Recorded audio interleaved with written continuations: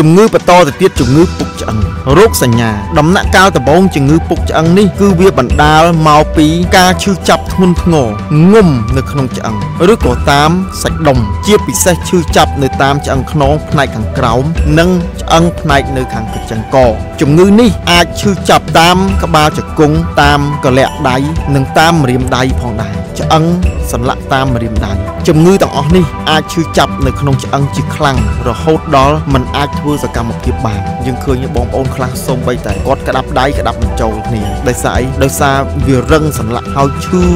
ខ្លាំងងុំនៅក្នុងសន្លាក់តែម្ដងជំងឺនេះក៏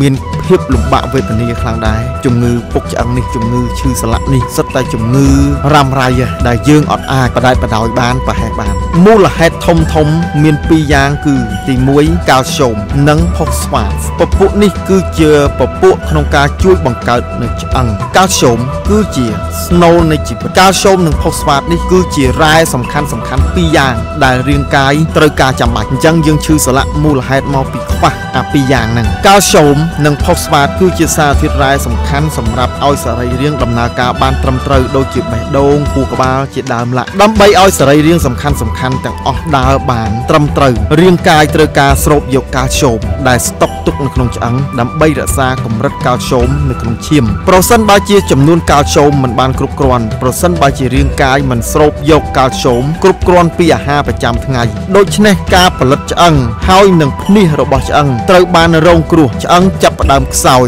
ពុកហើយងាយនឹងបាក់ជាទីបំផុតអញ្ចឹងយើងត្រូវប្រើក្រកាល់ស្យូមយើងត្រូវប្រើផលិតផល Right Brands ប្រេងសម្រូបស្រូវត្រូវប្រើពពួកល្ងខ្មៅ Cordyceps Mushroom Beta Glucan 1.3 1.6បូកជាមួយនឹងពពួកបៃតងឲ្យបានច្រើននិយាយទៅប្រើឲ្យបានគ្រប់មុខដើម្បីប្រគ្រប់ជីវជាតិចិញ្ចឹមវីតាមីនប្រូតេអ៊ីនរ៉ែតនេះបងប្អូនហើយត្រូវតមអីខ្លះតមសាច់តមអាហារអាប់តមគ្រឿងភេសជ្ជៈកំប៉ុងអាហារកែច្នៃតមគ្រឿងសង្វឹងតមសាច់គោសាច់ទាសាច់មាន់អីទាំងអស់ហ្នឹងហើយយើងត្រូវទទួលទានអាហារណាដែលមានកាល់ស្យូមខ្ពស់ដើម្បីឲ្យ ងាយស្រួលរាងកាយយើងស្រូបបានកាល់ស្យូមពពួកវីតាមីន D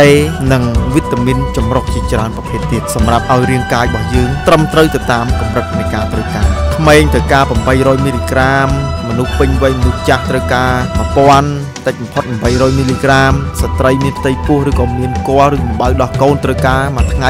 1500មីលីក្រាមអញ្ចឹងយើងធ្វើម៉េចប្រគ្រប់ហូបចុកឲ្យបានគ្រប់គ្រាន់នៅជីវជាតិកាល់ស្យូមដែលជីវិតជីវភាពប្រចាំថ្ងៃយើងត្រូវការជីវិតត្រូវការត្រូវតែផ្ដល់ឲ្យជីវិតយើងជីវជាតិកាល់ស្យូមនេះជាផ្នែកមួយសំខាន់ណាស់របស់ជីវិតមនុស្សយើងកុំឲ្យខាតពេលយើងបន្តទៅជំងឺបន្តបន្តទៅទៀត